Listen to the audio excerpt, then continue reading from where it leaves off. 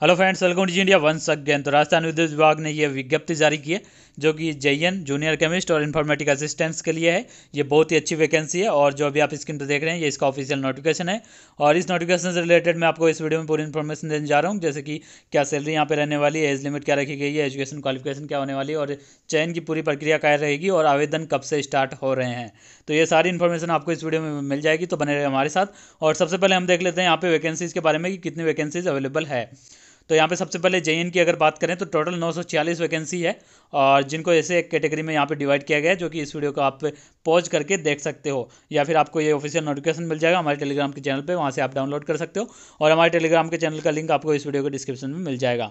तो वहाँ जाके आप डिटेल से इस पूरे नोटिफिकेशन को आराम से पढ़ सकते हो।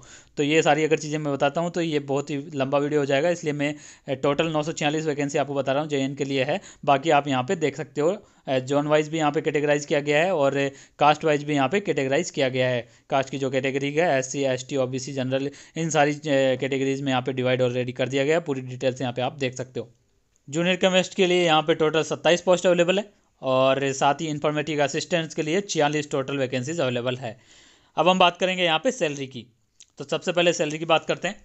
तो यहाँ पे क्लियरली लिखा हुआ है जे और जूनियर केमिस्ट की सैलरी सेम रहेगी, जो कि लेवल दस में इनको रखा गया है और प्रोबेशन के टाइम पे आपको फिक्स तेईस हज़ार सात सौ रुपये पर मंथ यहाँ पे मिलने वाले हैं।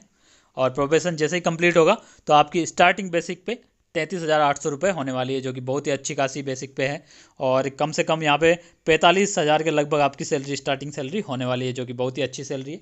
और इन्फॉर्मेटिक असिस्टेंट की अगर बात करें तो लेवल आठ में यहाँ पे इन्फॉर्मेटिक असिस्टेंट को रखा गया जो प्रोबेशन के टाइम में अठारह हज़ार पाँच सौ रुपये पर मंथ यहाँ पे इन्फॉर्मेटिक असिस्टेंस को मिलेंगे। और जब प्रोबेशन आपका दो साल बाद कंप्लीट हो जाएगा तो छब्बीस हज़ार तीन सौ रुपये स्टार्टिंग आपकी बेसिक पे होगी। तो टोटल पैंतीस हज़ार के आसपास आपकी स्टार्टिंग सैलरी यहाँ पे होने वाली है। तो ये बात हो गई है सैलरी की। सैलरी बहुत ही अच्छी सैलरी है और बहुत ही अच्छी जॉब है ये विद्युत विभाग में। और वैकेंसी भी अच्छी खासी अवेलेबल है।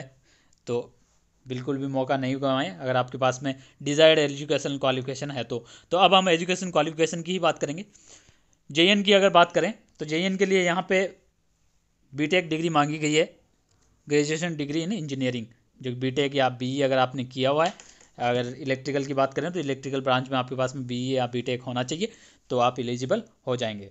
और इसी तरह मैकेनिकल जेएन के लिए भी यहाँ पे ग्रेजुएशन डिग्री मांगी गई है इंजीनियरिंग में, यानी कि बी बी टेक सिविल के लिए भी बी बी टेक होनी चाहिए सिविल इंजीनियरिंग में, और साथ ही कंट्रोल एंड इंस्ट्रूमेंटेशन कम्युनिकेशन के लिए भी आपके पास में ग्रेजुएशन डिग्री होनी चाहिए इंजीनियरिंग में, यानी कि बी बी टेक सेम है।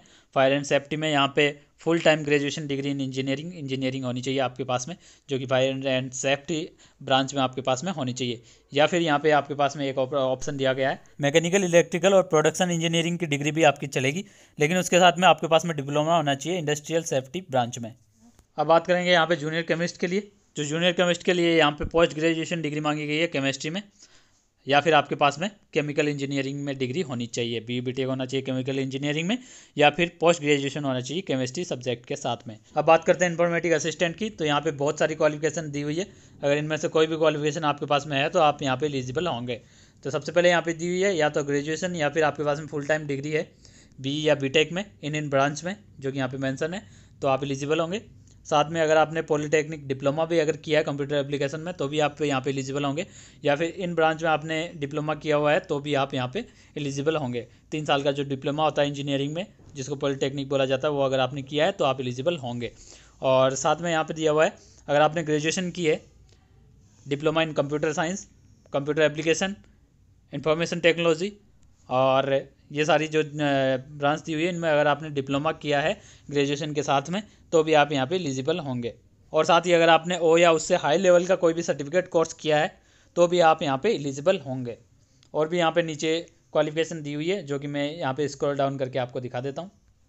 तो नीचे भी यहाँ पे क्वालिफिकेशन दी हुई है, जो कि आप देख सकते हो।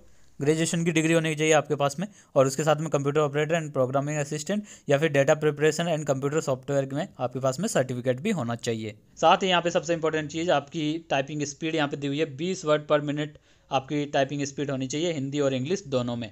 तो ये सबसे इंपॉर्टेंट यहाँ पे क्वालिफिकेशन है, जो कि आप अगर पूरी करते हो तो बहुत ही अच्छी ये वैकेंसी है। आपके लिए बहुत ही सुनहरा अवसर है। अब बात करते हैं एज की।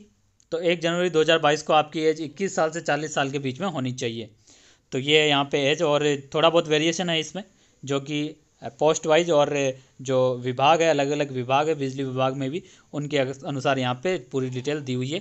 थोड़ा बहुत वेरिएशन है, जिसको आप यहाँ पे पढ़ सकते हो, अगर आप इस पर्टिकुलर पोस्ट में अगर आप अप्लाई कर रहे हो तो।